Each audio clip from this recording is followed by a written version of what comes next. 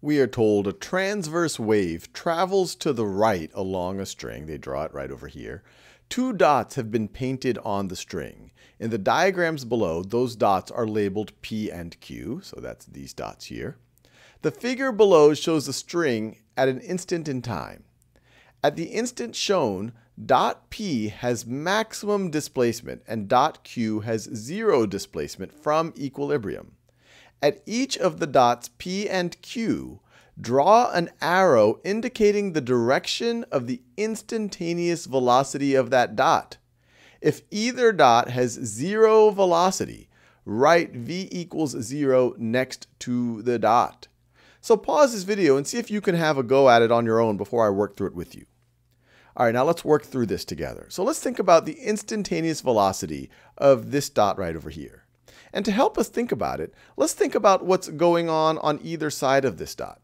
So if we, if we think about this point right over here, what's going to happen a little bit after this moment in time we're looking at? Well, the wave is traveling in that direction. So in a little while, the wave is going to look, in a little, in a moment after that, the wave is going to look something like this. The wave is going to look something like this. So this dot is in the process of moving down. And what about this dot right over here? Well, this dot a little bit later is going to be higher, so it's moving up. And it's this point where we're at our maximum, when we're at our maximum displacement from equilibrium, we are going from going moving down to going up right at that moment. So right at this moment of maximum displacement, we have zero velocity. So let me do that in red so you can see it. So here at point P, we would write V is equal to zero. Now what about at point Q?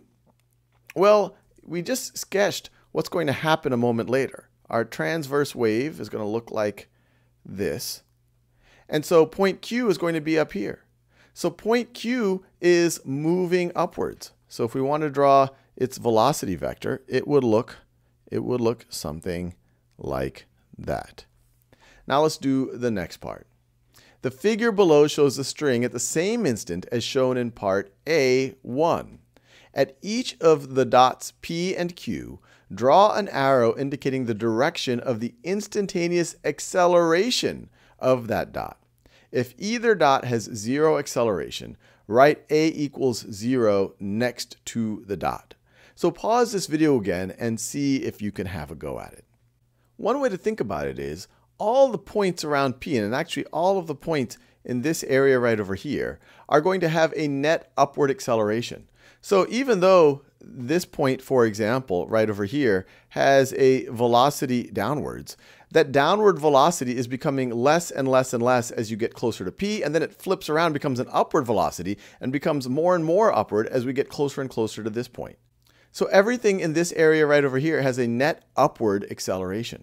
So P would have a net upward acceleration as well. It has zero instantaneous velocity, but we're at that moment, we're going from a downward velocity to an upward velocity. So we have an upward acceleration.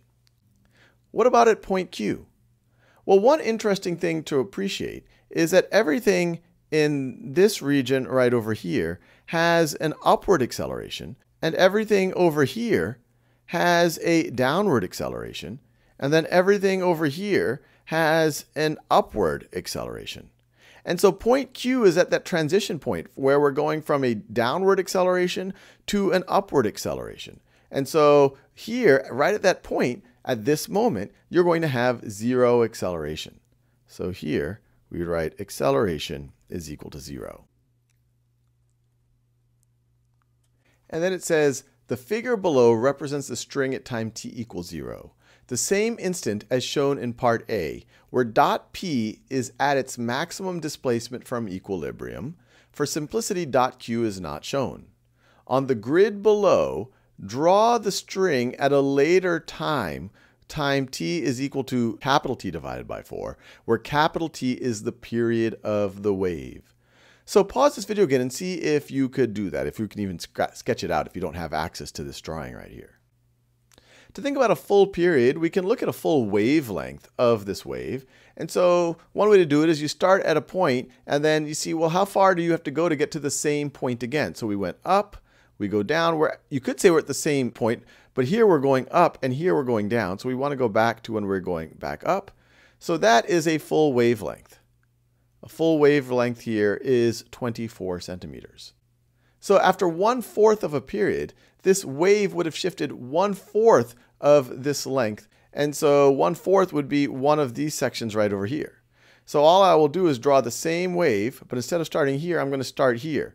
One fourth of a wavelength to the right. But then I'll draw the exact same wave. It's just shifted. So notice it has just shifted one fourth of a wavelength to the right.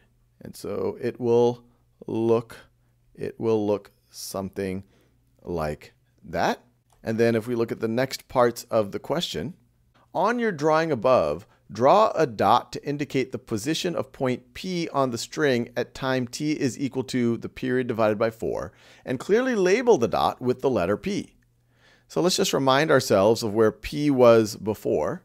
P is at this point that's halfway between 12 and 24 centimeters. So that's going to be at 18 centimeters. So it's right over here. So at this point, P is going to be right over here.